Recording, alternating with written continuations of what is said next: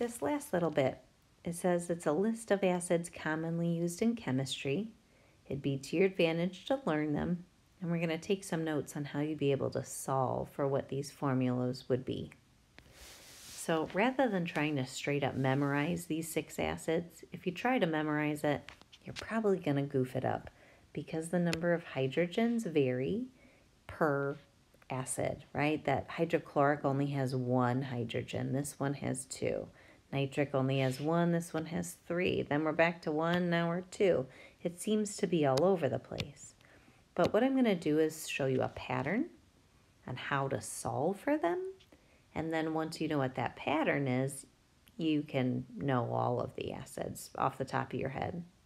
So there is one of these six that I would like you to just straight up memorize and that's the hydrochloric is HCl.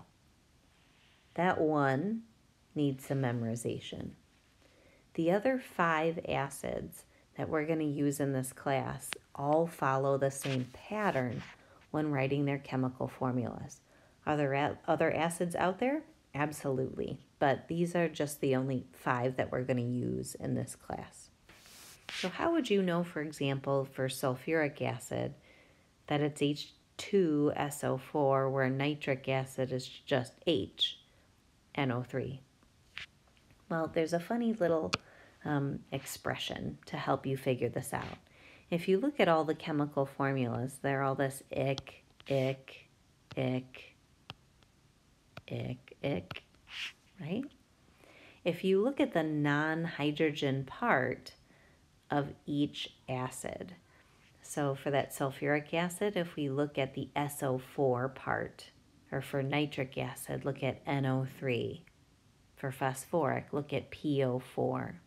If you focus on that component of the acid molecule, um, SO4, when you look up, for example, what SO4 is called on your ion sheet, SO4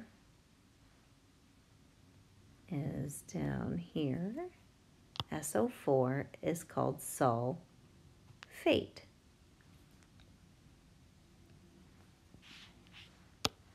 So that's sulfate.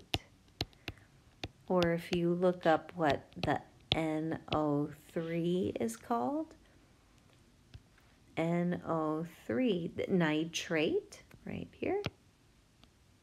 Right, nitrate right there, NO3, minus charge. So nitrate. So nitrate has a negative one charge and sulfate has a negative two charge. If you look up these other ones, PO4 is phosphate, C2H3O2 acetate, and then carbonate. They're all ate. And then they're all, they turn into X. So the funny little phrase to help you remember, you ate something icky.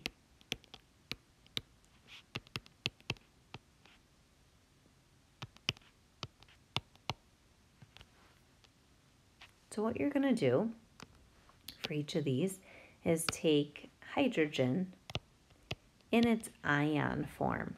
If hydrogen were to form an ion, hydrogen would form a plus one charge, just like all the other alkali metals. That's one of the reasons we have hydrogen over there in that column. So if hydrogen were to form a positive one charge, and then we combine that hydrogen ion with an ate ion,